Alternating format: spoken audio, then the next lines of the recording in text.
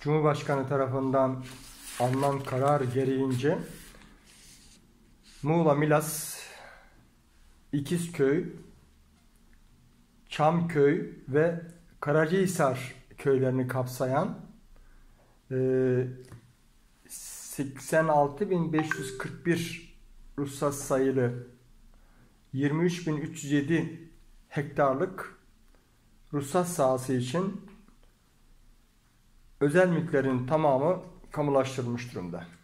Kamulaştırma kamulaştırılan e, parsel sayısı 190. Bu 190 e, parselin özel mülkün olduğu saha ve e, o bölgedeki e, hazine arazileri ve orman sahalarının tamamı lignit madeni ocağı açılmak isteniyor. YK enerjinin ihtiyacı olan yeni lignit madeni için Cumhurbaşkanı tarafından acele kamulaştırma kararı verilmiş durumda. Acele kamulaştırma kararları Kamulaştırma Kanunu 27. maddesine göre verilir. 27. maddesi 3634 sayılı Milli Müdafaa Mükellefiyeti Kanunu'nun uygulanmasında yurt savunması ihtiyacına diye başlayan bir yasal düzenleme. Yani öyle bir acelecilik olmalı ki yurt savunmasını gerektiren özel mülklerin acele kamulaştırılması söz konusu olsun. Yasada daha sonra yapılan e, düzenleme ile önce Bakanlar Kurulu, şimdi Cumhurbaşkanlığı sisteminden sonra Cumhurbaşkanı tarafından aceleciliğine karar alınan hallerde de acele kamulaştırma kararı alınabiliyor.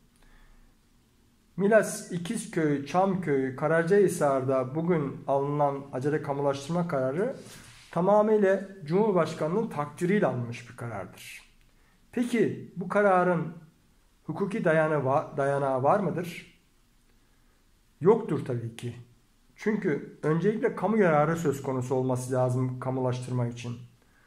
Kamu yararının kabul edilmesi de ancak yargı denetiminden geçmiş bir durumun söz konusu olması gerekir ki Akbelen direnişi sırasında bütün kamuoyuna mal olduğu üzere bölgedeki bu işletmeye ilişkin davalar halen devam etmekte. Örneğin 86.541 sayılı ruhsatın e, ruhsat ve işletme ruhsatı ve işletme izninin 2021'den 2041'e kadar uzatılmasına ilişkin MAPEK'in kararının iptali davası şu anda İzmir Bölge İdare Mahkemesi 7. İdari Dava Dairesi'nde istinaf incelemesinde. Orman ve e, Tarım ve Orman Bakanlığı'nın vermiş olduğu Akbelen Ormanı'nın lignit maden ocağına tahsis iznine ilişkin iptal davası İzmir Bölge İdare Mahkemesi 7. İdari Dava Dairesi'nde incelemede. Yine e, Orman Bakanlığı'nın bu tahsisinin 2021'den 2031'e kadar uzatılması ve e, buna dayanarak e, Akbelen Ormanı'nın kesilmesine ilişkin dava Manisa İdare e, pardon Muğla İdare Mahkemesi'ne devam ediyor. Bunun yanı sıra bu maden ocakları için, maden işletmesi için e, uygulanan çet muafiyeti kararlarının iptali davası bir tanesi Danıştay'da, bir tanesi Anayasa Mahkemesi'nde. Bu acele kamulaştırma kararı yasanın acele kamulaştırma düzenlemesine ve amacına açıkça aykırı. Kamu, kamu düzenine, kamu yararına aykırı bir karar. Tek amaç şirketin elini güçlendirmek. Şirket köylülerden yerlerini satın almak istiyor. Bunun baskısını yaratmış durumda. Şirketin elini güçlendirilmek için almış bir karar olarak görüyoruz. Ve önümüzdeki hafta bu işlemin iptal için dava açacağız. Danıştay'dan yürütmeyi durdurma ve iptal isteyeceğiz. Biz şimdiye kadar deneyimlerimizden yola çıkarak şunu söyleyebiliriz.